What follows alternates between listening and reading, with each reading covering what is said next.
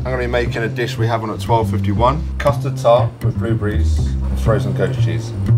My style of cooking has completely changed. For me, it's about my roots. I just let each dish kind of speak for itself.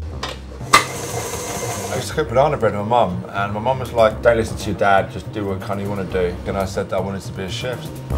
For me, I think people to come in and then walk away thinking, oh God, that was a bit unusual, but it tasted good. That's really what I got in it for. If it's something proud of what you do and you put on a plate, then you're, you're heading in the right direction.